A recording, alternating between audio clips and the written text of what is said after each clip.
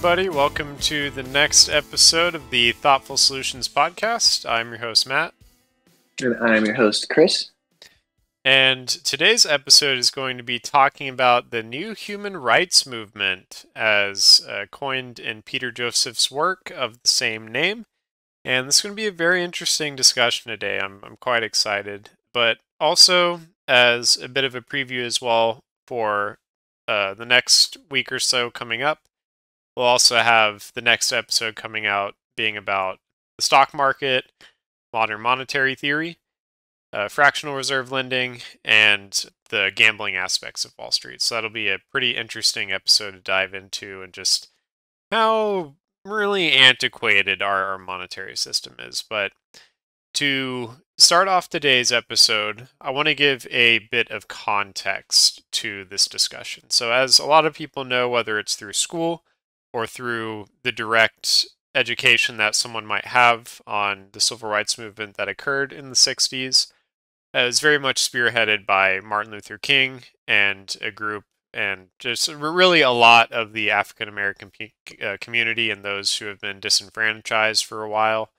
And it was very much a galvanization of a group of those who were uh, very much left behind by the growing modern society. And it was a push in the, very much the right direction towards giving people access to to sort of the civil side of, of how things work and while a lot of people are familiar with how the civil rights movement shaked out and the pass of the Civil Rights Act, uh, a lot of people might not know that after the battle had been uh-huh. won and the Civil Rights Act was successfully passed, and I think it was like 1964 or something, uh, Martin Luther King shifted his focus towards the economic side of things. And as people who have tuned into this podcast know, that's very much a focus of the train of thought that we're trying to put forward is the socioeconomic system as a whole and why it needs to change. But with what Martin Luther King was focusing on, it while rudimentary at the time, whereas more focused on sort of a universal basic income type solution, that was where his focus was beginning to shift as the battle for the civil rights movement was successfully fought. And unfortunately, as the steam was getting rolling for that side of his activism work, unfortunately, again, his his life was cut short uh, as he got assassinated. But that hmm. a good bit of context as to why he was able to recognize that that is another aspect of what is keeping people down in a sense and their ability to participate in society as a whole is is very much the economic side of the equation. So that's going to be the focus of today's discussion is what the new human rights movement looks like and how it's it's got an economic focus and how that is going to be the evolution going forward uh, for for the progression of this topic. So mentioning this as a, a bit of a, a prologue to how this is going to shake out, there are five key aspects that we want to mention in this discussion, and that we'll be touching on throughout this discussion. Uh, so, Chris, why don't you go ahead and lay out what those five aspects of the new human rights movement are? Yes, absolutely. So, the your economic rights, the five aspects of your economic rights, we got one localization, two access, three automation, right? Four open source, and then the fifth and final one is a digitized network feedback system. So five key things, all of them actually go very intertwined with one another, very they affect one another um, on the inner levels. But um, I'm going to start real quick here with the first one, localization. It's actually one that I'm a big believer in myself.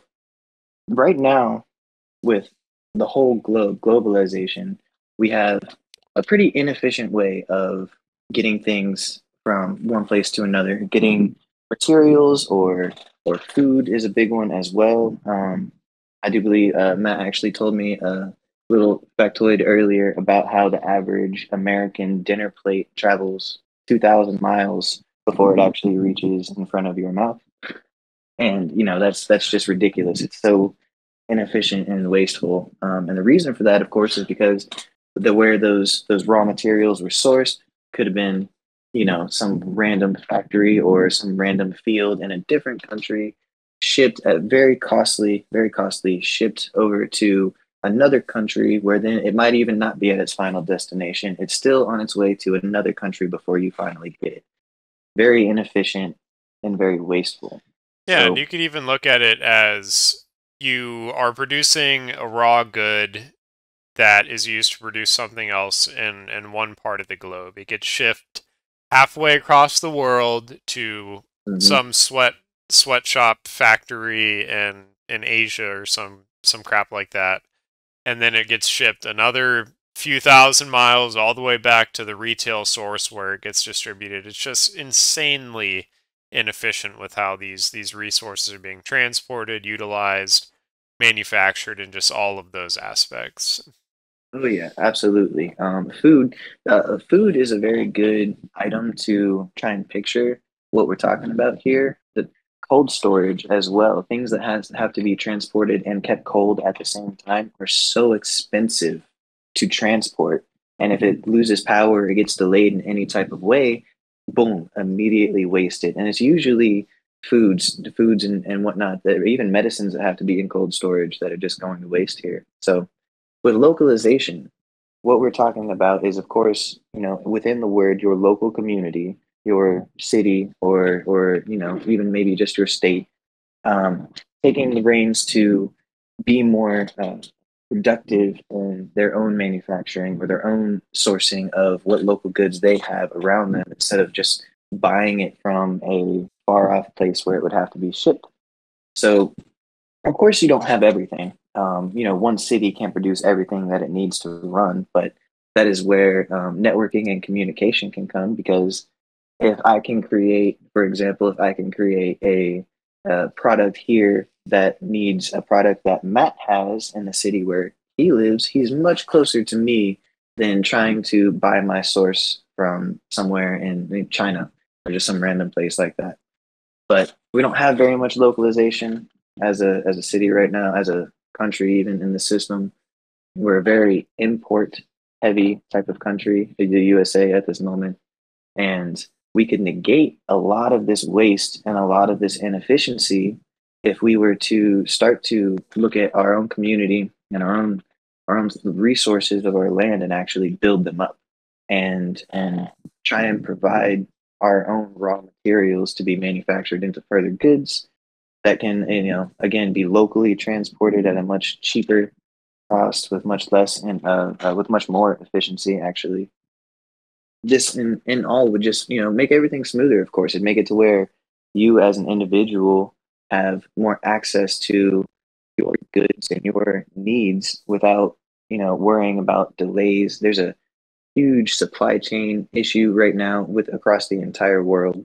And you know it's kind of got everyone in a bit of a mix because we don't produce our own goods to to be able to use on our own. We're relying on uh you know, factory 5000 miles away to produce it and ship it here.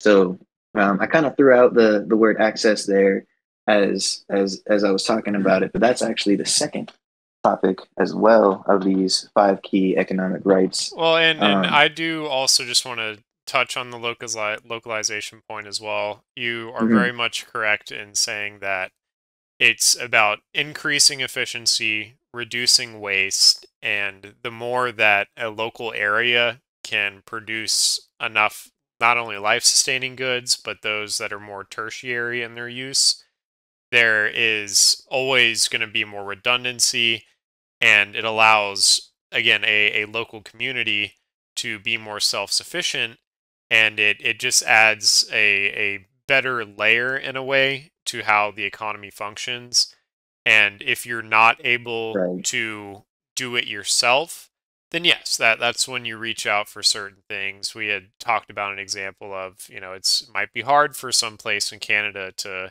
to grow avocados easily to use a food example or to produce some resource for for a factory you know not every place is going to have access to rare earth minerals or something but when it comes to basic goods that is is not only produced and mitigated through the use of technology uh, which can allow local areas to to more efficiently be reliant on themselves and and that's another aspect is technology is what makes this more possible these days uh, Mm. that's Oh that's yeah. really the element there is reducing waste increasing efficiency using technology to to really make your local community more self-sufficient Yeah, no, no, uh, a really clear way of putting it, actually. And so this all greatly also it goes hand in hand with having more access in your community. Um, that's the another key element to this economic movement.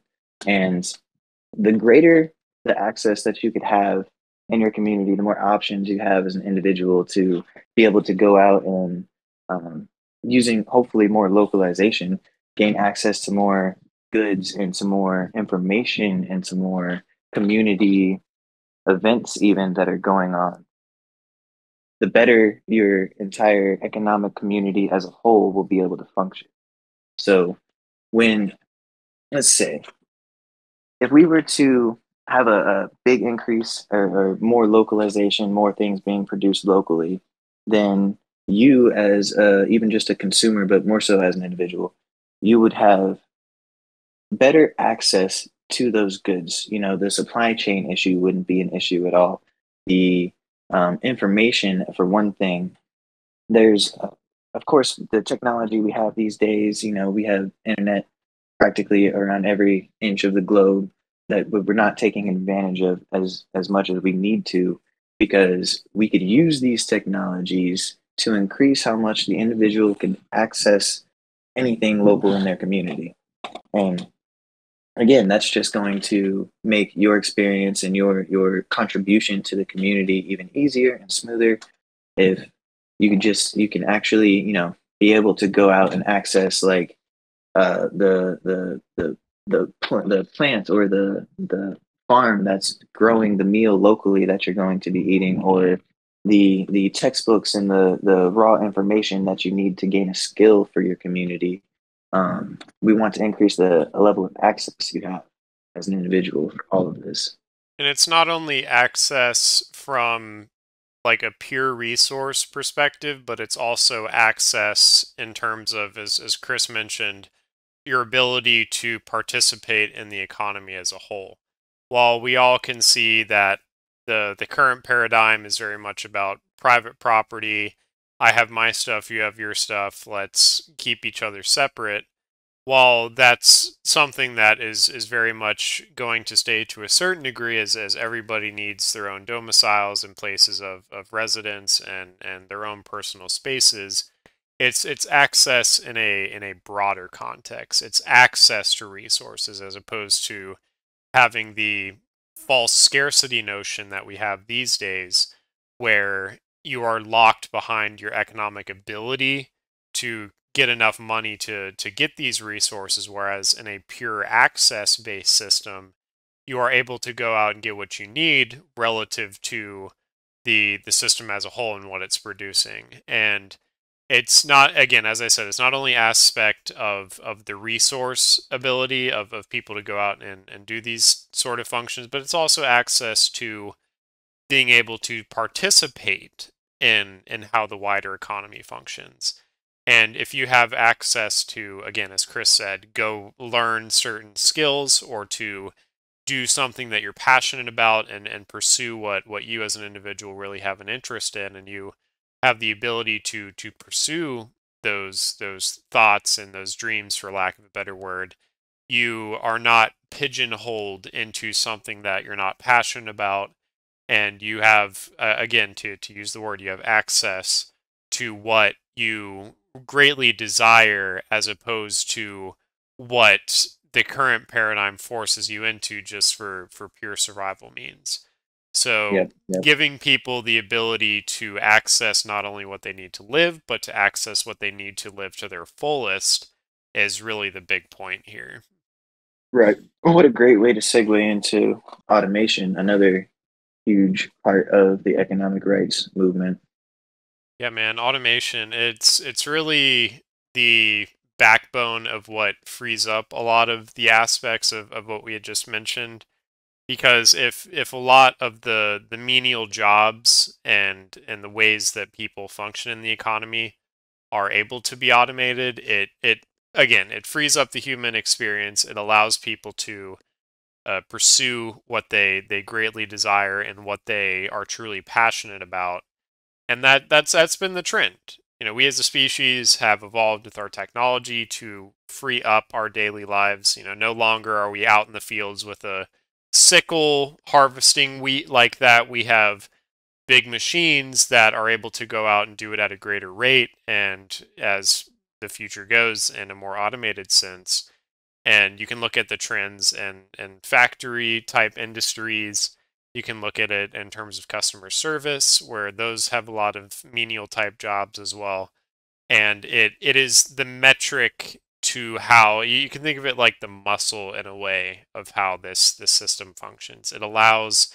the production mm. of the goods that people would get access to in their local economy and instead yeah. of people sitting behind in a in a machine labor job where they're punching out 500 holes on on a metal sheet of you know a metal sheet every day as their job you're able to automate these things where you know again you can look at the automotive industry technology industry agricultural industry it, it is utilizing our technical advancement and our capacity to facilitate us as a species shifting more towards what we greatly want to pursue our passions with. And it very much, as I mentioned, it frees up the human experience and allows us to pursue advancement at a better rate. And it's just, it's, it's very much the trend as well.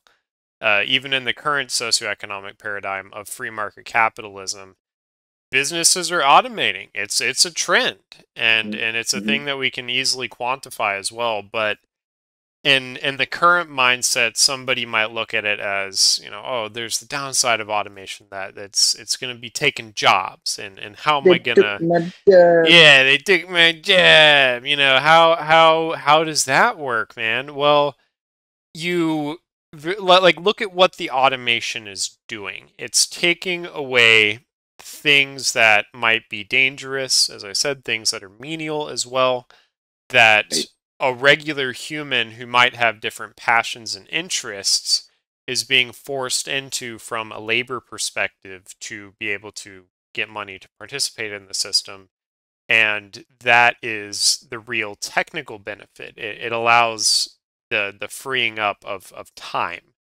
And that allows the the human capital, the human resource to be shifted towards things that greatly benefit the society and and your local community as well uh, as compared to as we all know sitting behind a cashier checking out people's groceries all day. You know we see the trend with self checkout systems and it's it's as i said it's just the trend.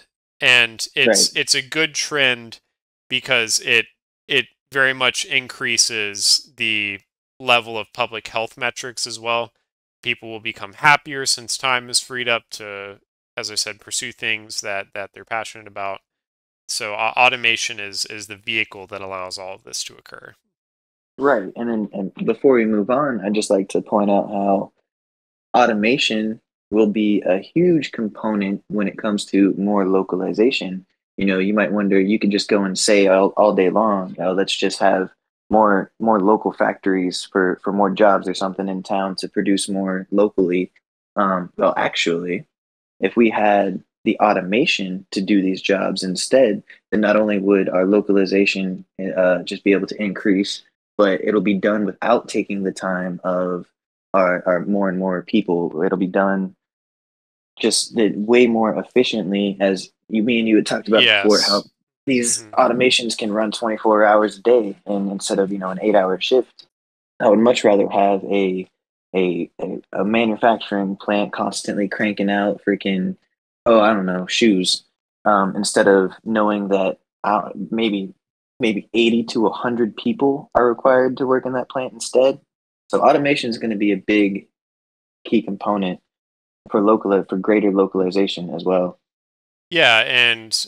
that that's a very good point is it's another element of increasing efficiency reducing waste and really allowing the local community to produce more than they would as as you know if you're importing stuff that is made in in factories across the world. And it it also feeds into the zero marginal cost uh, perspective as well whether it's marginal or zero as as time goes on it it's the way that you are able to reduce the amount of inputs into the system and just overall increase the the output that you have and as the trends go with technology advancing it's it's only going to get better you know a, a good point yeah. is the concept of ephemeralization which was coined by R. Buckminster Fuller. It's the way that, you know, as technology advances and things progress, you can do more and more with less and less. Your average supercomputer from the 60s took up thousands of, of kilowatts of power and would dim the lights in the local neighborhood. Whereas nowadays, you have a cell phone that has 10,000 times the computing power and mm-hmm. you charge it for a few hours at, at on your wall. So yeah. that that also fits into what the trend of automation looks like. As the machinery gets more advanced and is able to do more it's only going to make the system more efficient and be able to meet uh, more needs. Right right right. So yeah and that actually feeds quite nicely into the fourth point here which is talking about open sourced uh, or or just open source uh, technology. And you, you could even look at it not only from a pure technological standpoint, but I'll, I'll get into that as as I elaborate here a bit. So, right. open source is the the best example for those who don't know what it is. Um, instead of having, you know, let's say you have a piece of software technology, instead of 20 people at some software development firm sitting behind a desk working on it for you know x amount of hours to produce this good you have input small amounts of input from thousands of different people in either your local community or globally that contribute to the project as a whole so instead mm-hmm. of it being not only proprietary and locked behind some sort of uh, not necessarily paywall, but some sort of, you know, we're the ones who created this. We're the ones that are going to update it. This is how it's it's going to go. You have contribution. Yeah, no, secrecy could could be a way to describe it as well. You have inputs from a lot of different sources, and not only does that make turnover time faster, so technology gets developed at a much better rate, you have different perspectives coming in from many different people to contribute to whatever the whatever the good is that is being worked on. But you also increase the level of redundancy when it comes to developing these systems. So when you have all of these different minds and many different pieces of, of perspective being put into this puzzle you create something that is is better than how we've done it before and this is borne out by technologies like the Android phone platform, that is a totally open sourced platform that, as the APKs get developed over time, it comes from the, the contribution of thousands of different developers across the globe. You could also look at the, the Linux server software system and the operating system as well. It's another example of an open source piece of technology that has very much been a go-to when it comes to computer and server management. So it's it's it's very much a way to shift from a small group of people being locked into one project to almost democratizing the way that people participate. And again, you you make turnover time quicker.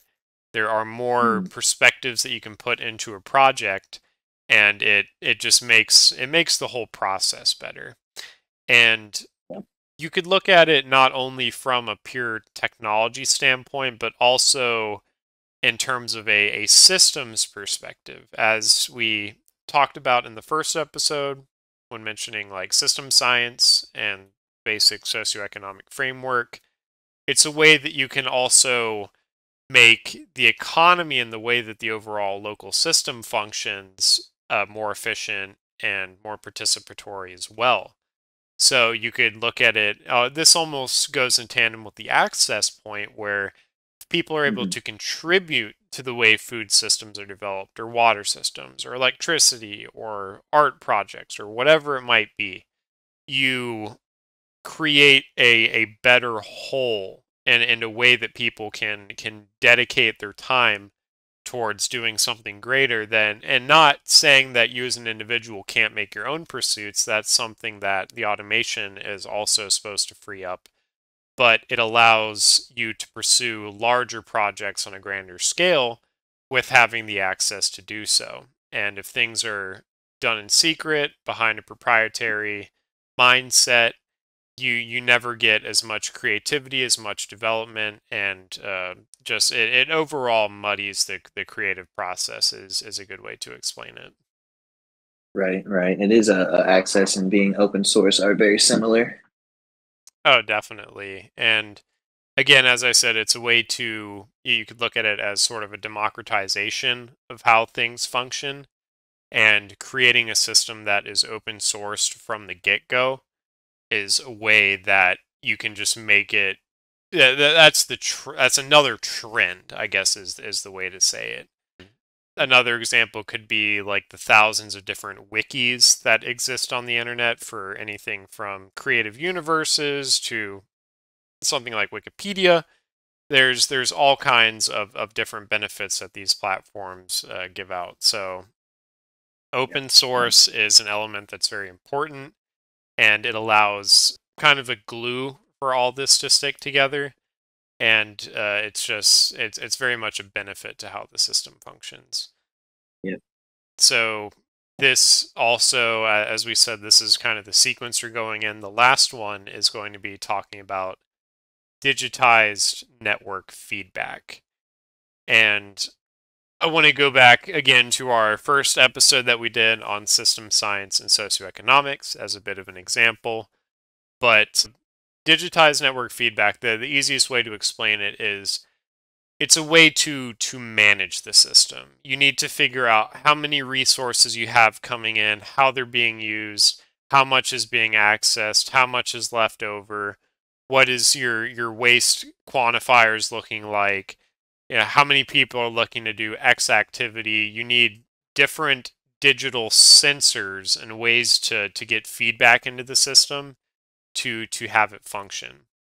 And with the digital revolution that we've gone through, we can do this faster at a much lower cost than we've been able to do before. And it's a way that we can really tie everything together. You can think of it like the skeleton to the system as well. And the way that uh, the, the example I want to mention with, with Stafford Beer and what he did with Chile, uh, they did this back in the 70s with like high and low frequency radios and telex machines. And they would feed this this economic data and, and, and feedback through, you know, the factory would call in, oh, we've produced 300 chairs today. And then that information would get relayed to to Santiago, where various economic ministers would figure out what to do with that information, where the, the, the goods would go to distribution centers so that people in the local economy could access them. And while that's very much an antiquated example, it's it's uh, it's a way to to show how that functions. It's it's a way that we we measure the feedbacks into the system, not only from the environment, but from what resources that we're working with to really help bring the picture together. And again, we do that through different sensors, creating an open source network that allows people to say, you could have like a platform or website where people can go on and say, oh, you know, we've produced three tons of grain this month or some crap like that. And that's information that the community as a whole will have access to and can use that to direct how resources are being allocated and, and utilized. And it, it's just, uh, again, it's another type of, of element of the system to make it function properly. How, Right, how how would you kind of quantify it in your words, Chris? Well, so I, I I was actually thinking about tying it back to Ashby's law, you know, from um from episode one, where, of course, you know, uh, in order to to have an efficient, viable system, the the regulators of the system need to be able to basically be in more control or have more um, power on the system. So it has they have to be greater than the system, and it almost it's a lot like the uh, the digitized network feedback is another tool that a regulator could use to constantly stay on top of the system itself.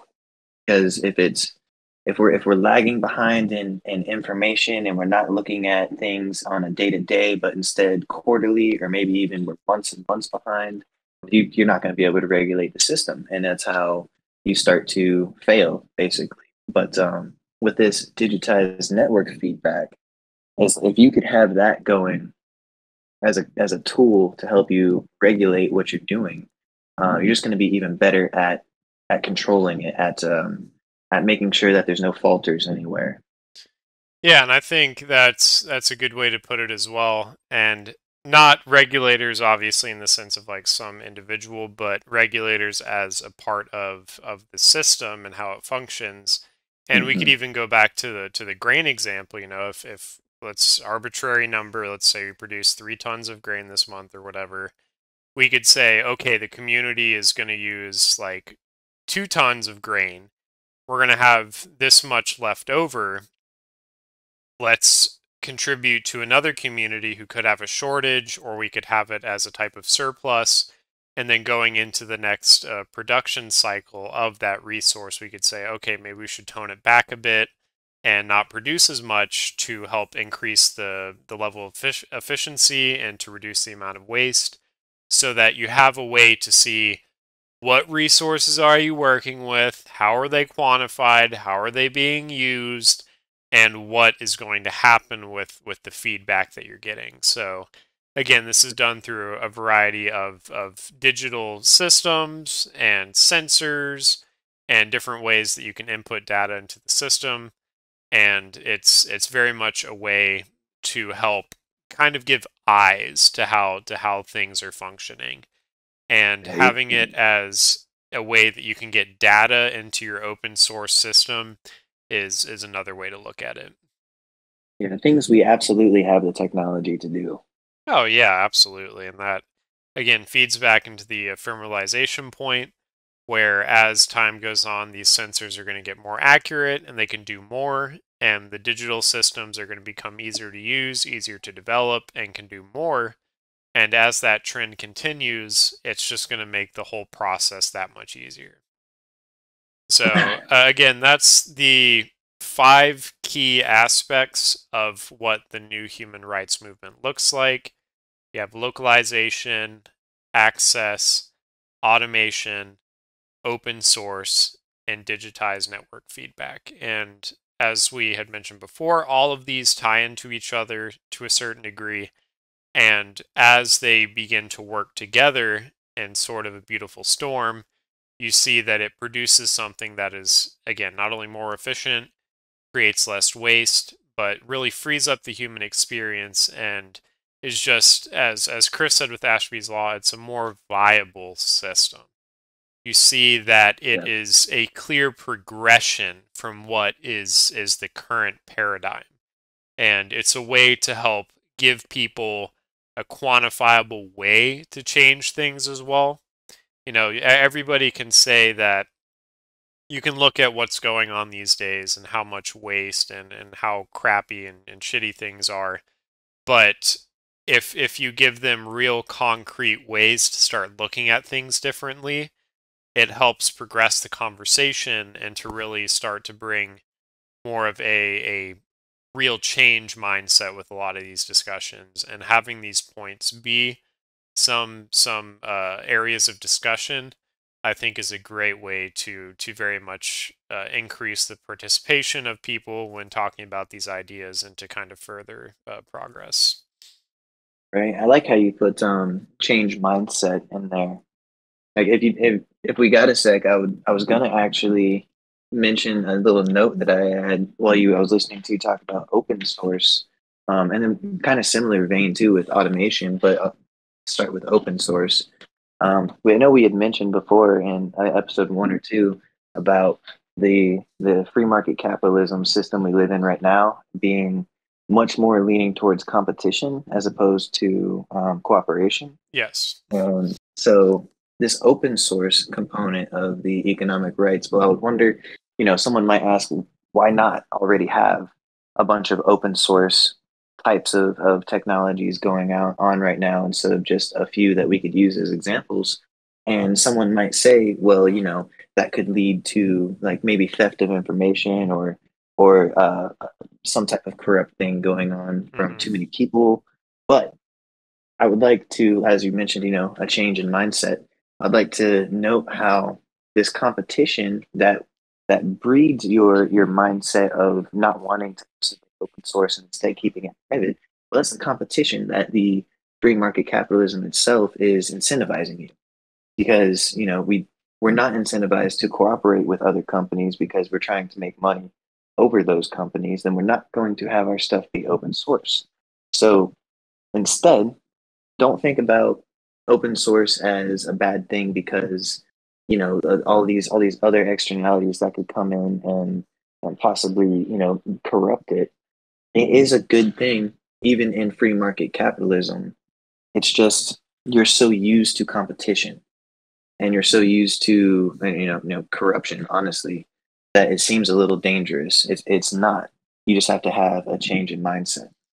Yeah that's that's very much an amazing point as the not only is it a shift in mindset from the cooperation versus competition aspect of things, but because people are so much more connected with how things are functioning in their in their local community, there is much less, if none at all, of an incentive to to have that type of of uh, malignant interaction, and people if if they know that what they're doing is directly impacting their family, themselves, the people next door, and their community as a whole, that very much breeds that mindset of why would I screw everybody over if I am ultimately going to be the one being screwed? And that yeah. feeds into just a community mindset in general. If if your community is benefiting and those around you, ultimately if you look at it from that selfish perspective, it feeds back to you as well. Because if your community has gone to shit,